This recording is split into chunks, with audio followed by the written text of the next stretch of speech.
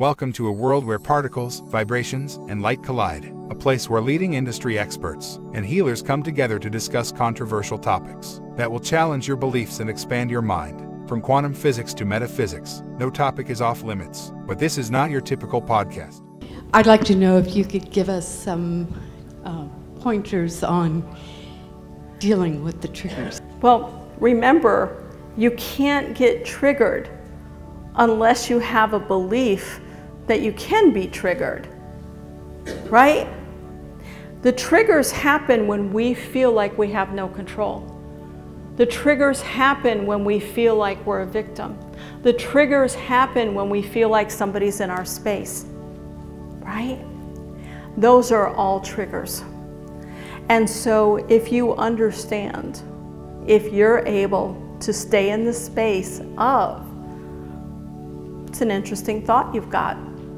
It's a show guaranteed to make you question your assumptions and push you to expand your horizons. For those who are already fascinated or passionate about the work of Patti Conklin, this show will give you an inside look into the mind of one of the industry's most renowned figures in vibrational mediation. With over 28 years of experience and a long list of big name collaborations, Patti's insights and perspectives will inspire and challenge even the most seasoned practitioners. And if you're the skeptic who doesn't believe in vibrational mediation, this show is for you. Healers, doctors, and scientists are just a few of the professions represented by our fascinating visitors that bring their unique perspective to every episode. Join us on this journey into the world of healing within and adventure inside. Our mission is to inspire, challenge, and enlighten our audience with thought provoking conversations and fascinating guests from a wide range of fields who can shed new light on important issues facing society today. Join us for each episode if you're ready to explore and learn about the latest developments at the intersection of cutting edge science, spirituality, and self improvement. Enter a world where waves, particles, and light all meet. Enter the world of healing within and adventure inside. Hi, everyone. I'm Patti Conklin, and welcome to Healing Within and Adventure Inside. Um, as many of you know, I like particle theory. I like physics. I, I like to get into that. And he has a new book out um, called The Science or the Physics of God, Physics of God. I'll get it right. Um, and so, on many different levels, I'm uh, interested in his work. But Joseph, welcome. And uh, give us a little bit of background about you. What started you on this journey of of um, Yogananda and your meditation and just go back for me a little bit. Well, in some ways, my uh, college years are kind of a good example. Coming in as a uh, freshman, I thoroughly expected to have a career in, in science. Uh, I come from a very science oriented family. And uh, as I like to joke uh, at, at the dinner table, uh, we had to give references for anything that we said. Uh, so that was very one of my father's favorite um, sort of comebacks to anything I said when I was younger was, "Who exactly do you mean by they?" They. so you know, I grew up um, with a mental uh, focus towards science mm-hmm. and pursued that for the first couple of years I was in college. But then I had a uh, a very transforming uh, hallucinogenic experience that uh, wasn't my first nor my last, uh-huh. but it was perhaps the most powerful experience I had in, in using hallucinogenic drugs. And it was very transforming. I felt absolutely wonderful. I felt like I became, however briefly, one day, two days, that that was the self I wanted to be. That was the person I wanted to experience all the time. And I'd already begun uh, a, a, search into spiritual uh, material, but this really set me in earnest. Uh, basically, I was trying to answer the question how do I live like that always? And so I made an abrupt change from a, a, major in science to a major in philosophy and uh, spiritual practices, not spiritual practice, but spiritual studies. Yeah. And that also moved me from the University of Colorado, Colorado to uh, UC Berkeley in, in uh, California. And oh, step by step, that got me to spiritual teachings. I started off with Western philosophy, which was kind of interesting and inspiring in some ways, but dry in others, and really yeah. didn't give me any uh, practical way to, mm-hmm. to turn those thoughts into experience. But you know, as you know, uh, everybody who's meditated, that's kind of the essence of turning philosophy and beliefs into some kind of real experience that changes your life. Right. And then that led me step by step to living in a spiritual community called Ananda, uh, where I still am today. And Ananda is a community that uh, everyone in it follows the teachings of Paramahansa Yogananda.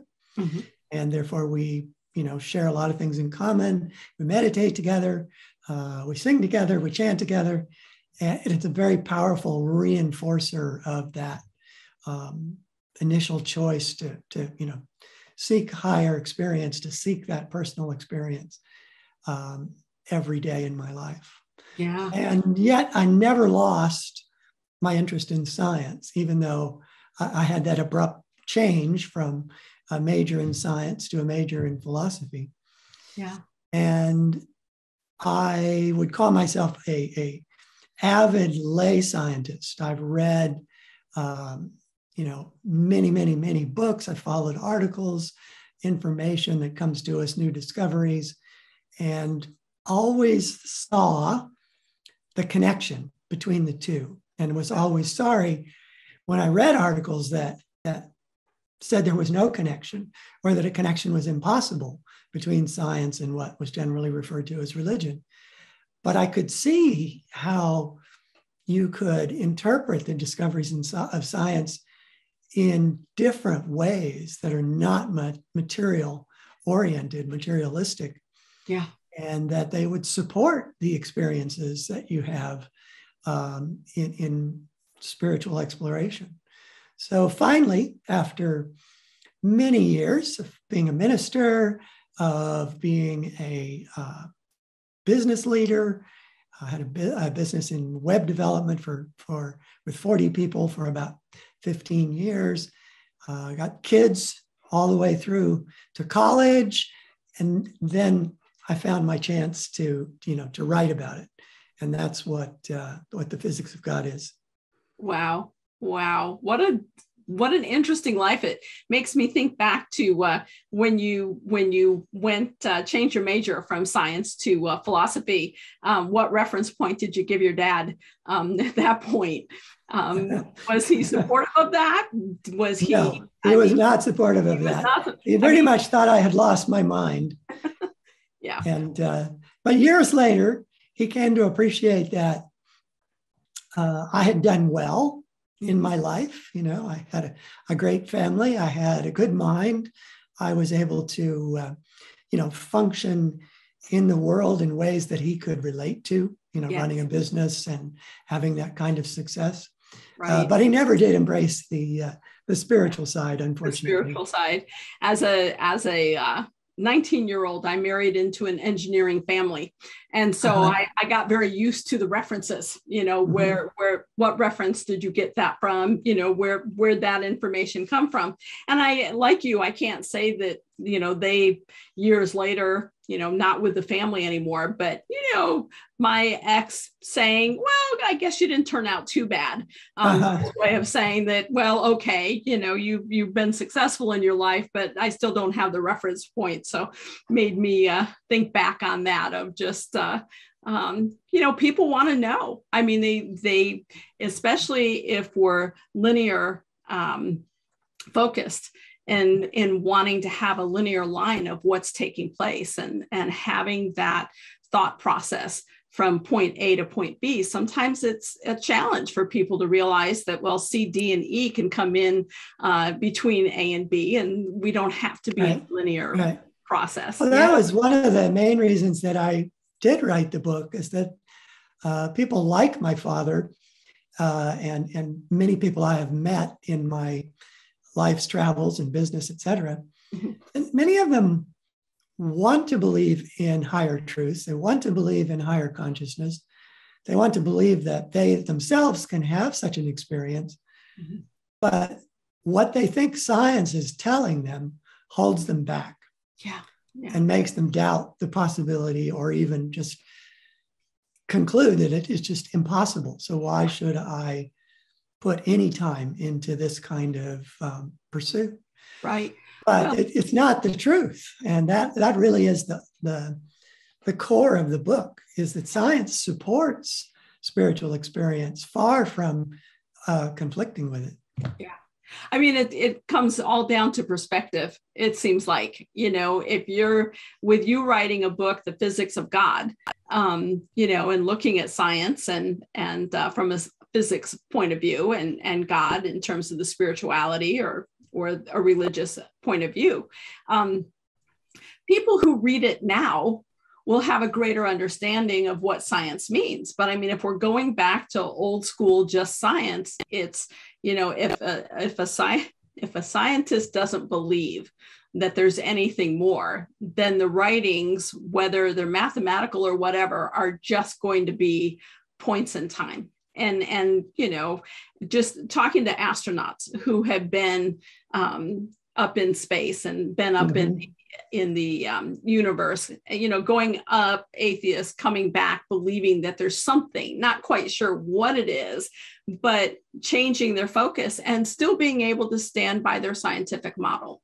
of what they uh, think things many are. people may have uh, heard of the institute of noetic sciences yeah. IONS as it's called uh-huh. uh, but not everybody knows that it was actually started by edgar mitchell right. one of the uh, Apollo astronauts. Apollo astronauts. Because he had this profound experience while he was returning from the moon, their orbit of the moon, yep. and uh, wanted to understand how it could be possible. What did he actually experience?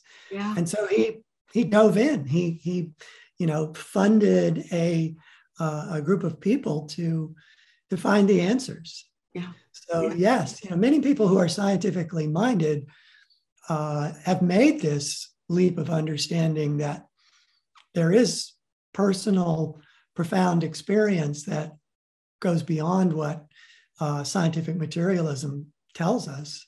Yeah. And in fact, a, a Pew uh, research uh, led to uh, a, a, sampling that indicated 51% of scientists, you know, self uh, identifying scientists, uh, believed in higher consciousness and believed in God. So it's not as black and white as it as it might seem. Yeah. Uh, and those those scientists may be you know searching for a way to make that connection, or they may just have made the decision in their mind that you know science can't find the information there, but that information is true. Yeah. So uh, not not all scientists are alike. I, I agree. I mean, certainly in the last 10 years, I've seen a lot more engineers, physicists, um, physicians in my workshops you know just mm-hmm. coming in wanting to have an understanding and um, and and just doing their searching which is which is awesome. Just you know reaching out and seeing who they resonate with and who they don't resonate with and what makes sense right. to them. What what brought about the physics of god? I i have not read it. I will read it. Um, but i always like to do an interview and not have read the book because i i would love to hear why i want to read it why do i want to read well then what i was hoping to do uh, and many people have told me that i succeeded in doing it was to um, present the deeper uh, subjects of science, such as uh, quantum physics and string theory and M theory, uh, in such a way that uh, a layperson could easily understand mm-hmm. What they are. And then to compare what those subjects tell us to the deeper experiences of um, the saints and sages and near death experiencers who have described their uh, powerful experiences, um, you know, transcendent, infinite experiences that they have, and put them together to try to marry these deep experiences of the of the mystics with the deep theories of science. And one core theory that I found amazingly um, congruent with not only the experiences of uh, saints and sages and, and near death experiencers, but also um, the sort of fundamental tenets of religion.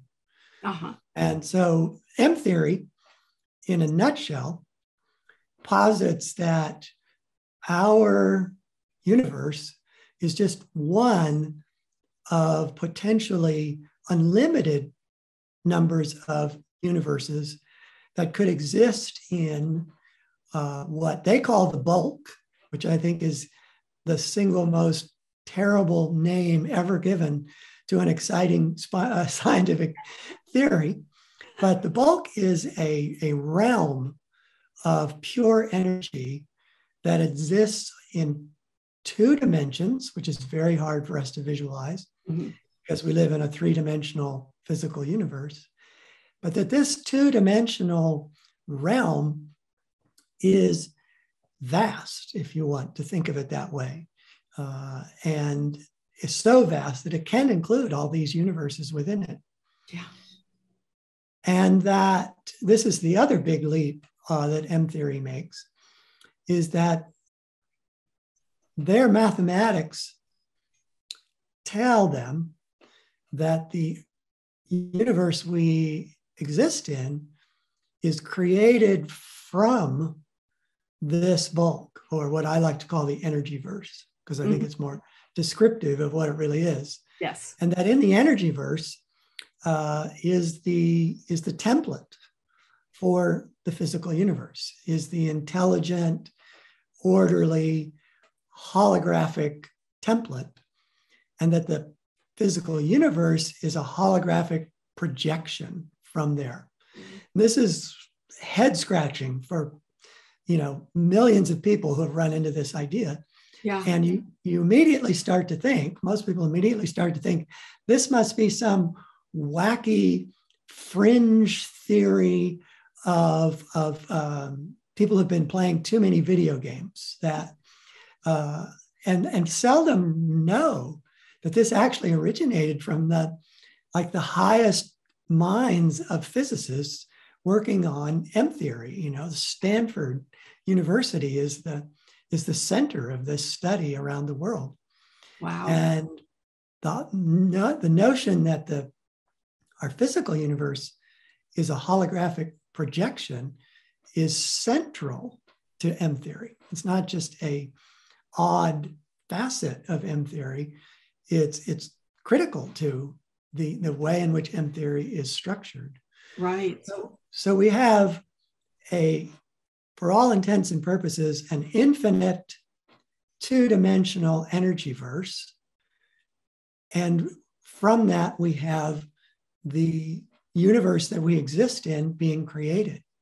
So now compare that to the descriptions of the mystics and near death experiencers of when they die, going to two dimensional, purely luminous realms right. that we call the heavens.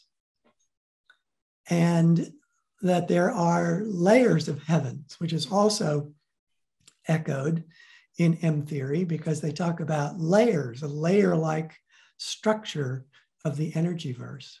Yeah. So I think, without any intention to do so, that M theorists actually created a, a, or not created, but actually identified where the heavens could exist. Wow. They, they exist beyond the physical universe. But where is that? And yeah. so M theory, you know, provides a possibility for where they could be and provides a structure to it, the um, the bulk, to the energy verse of layered dimensions that each one is um, composed of higher and higher frequency energy. And if you read about the heavens in various religions and from the descriptions of mm-hmm. saints and sages, they too are layered, that there are lower heavens and higher heavens. There's a seventh heaven. Uh, yeah. The Buddhists have, you know, 10 and sometimes 25 heavens that are each, though, uh, a layer above or below another heaven. Yeah. So that just that again, it's an intrinsic. There's an intrinsic need, according to the mathematics of M theory, for the energy verse to be layered, to, to be have layered. these different um, levels or, or, different densities of energy yeah. in, in a layer like fashion. Yeah. And then the notion that um, the universe is a holographic projection from a template within the, the energy verse also fits many um, ancient philosophical principles. As above, so below is, is one of the ways in which it's, it's right. expressed frequently in many, many traditions. And that uh, in the Hindu and Buddhist uh, conceptions of the heavenly realms, the earth is just the lowest most realm. It doesn't uh, separate them in some fundamental way. It's just that right. the earth, the earth is an expression with the lowest energy density, or with the uh, uh, the, the lowest frequency of all of these different realms, yeah. and that each realm uh, has a higher frequency and therefore has a higher um, level of intellect, of clarity, of understanding that comes with each one of those realms. So yeah. I found this utterly fascinating yeah. that this one uh, theory, uh, M theory, which is one of several of many uh, mm-hmm. variations of string theory, right, would so amazingly uh, be congruent with how the saints and sages tell us reality is organized. Right, and, right. That's, I mean, it just, it boggles my mind and it doesn't boggle my mind. I mean, right. in reading ancient texts or, or ancient um, mystics, um, you know, and just so simply out of the mouth of babes, you know, just remembering when when my son was nine, and um, and he just looked at me one day and he said, you know, I just wonder. I mean, he's got that that engineering brain. It's like I just wonder. It just seems like there's so many different layers of frequency. And it seems like people just are getting all wigged out about frequency and I'm beginning to wonder if God maybe has a father and that father, his God's father is getting closer to this universe and is heightening the frequency because there's more steps. Mm-hmm. And I mm-hmm. remembered at nine just looking at him going, huh, hadn't thought about it that way. But for his for his brain at that point, I mean, it, and it's something he's followed through in his writings and fantasy and so forth. I just um it makes a lot of sense. It makes sense from a scientific point of view, and it makes sense from a mystic point of view or a frequency point of view. What you're saying of the different mm-hmm. the different levels and how we look at that, and even just people who uh, say that they've talked to people from the other side, they they talk about the different levels. Um, how true is that in your own world? Not you know not so much in what you're reading or or what your um, uh, background is but for you personally well i think that for me the the experiences of meditation are really that you know that i've had in meditation um, just confirm for me you know what i've learned that yeah. uh, it's not as if i have a frequency meter that you know is attached to me while I meditate. It'd be uh-huh. great if somebody could come up with one, right? But uh, they don't exist. But I can tell in my meditations that uh, as I grow less aware of my body as my body stills and and uh, my interest in you know the senses begins to diminish uh, because my eyes are closed and my body is still that that awareness of the body going away allows me to become aware of my subtle astral body my higher frequency body mm-hmm.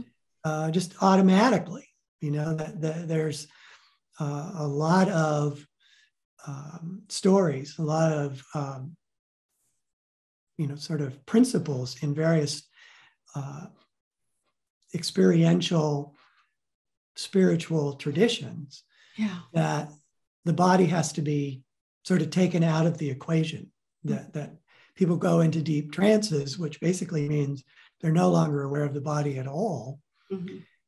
and when they go into those trances they are immediately aware of uh, higher realms and higher consciousness yeah and we see this with near death experiences. I mean, near death experiences are basically doing what I try to do in meditation all the time, which is to become completely unaware of my body. Of your body. Um, yeah.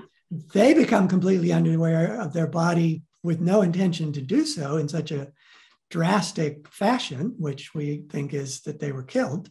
Yeah. Or they died. Or they die. Yeah. But when they come back, what they say is, wow, there is this amazing, fantastic, heart opening, mind opening realm that I just experienced. And they come back changed. They come back uh, no longer afraid of death and much clearer that what they're supposed to do here is to learn to love and to give to others and be of service. Right. And that's all that all that matters. Yeah. Uh, and and you still have to, you know, live your life and have jobs and take care of family and do all those things. But while you're doing them, the most important thing you can be doing is, you know, giving love, being being uh, caring in all your interactions with other people, being compassionate about people yes. who are having difficulties, um, making people feel loved in even the simplest interactions with people. I mean, the simplest one is just a big smile, a warm, genuine smile. But that's right. Uh, taking the time to, even in uh, an email, even if you're a, a busy person, mm-hmm. sending out a gazillion emails. You know, take time to say something positive about that person in yes. the in the course of responding to what they need to, to hear from you. Just right. use every moment as this opportunity, wonderful opportunity to give and share love with others. Because you feel so much better and that elevates your your vibrational level as well. So Absolutely. it's um, it's amazing how much we can live in this world, but not be of it, not living for it, not yeah. living for what it can give to us, but for what we can give to others while we're, you know, playing our part in this in this drama. I I totally agree. Totally agree. I just uh, did a little meditation this morning about that because I do believe we're here to be of service. And and and part of that being of service is that kindness and that love and consideration and compassion. And it's just so important. And I thank you for so much for for coming on today and and uh, bringing the loop around you know just uh, now i'm going to sit and read the book and i'd love to have you back on after i read the book and, and we'll do part two but mm-hmm. um, I appreciate your willingness to to be here and and help people understand that it's not an either or uh, between science and and uh, spirituality that it really can be one and and uh, bridged. So thank you, Joseph. I really appreciate. Well, thank you for having me. Pleasure to talk with you, and happy to come back uh, if you if you would like. I would love you to. Thank you so much. Take care.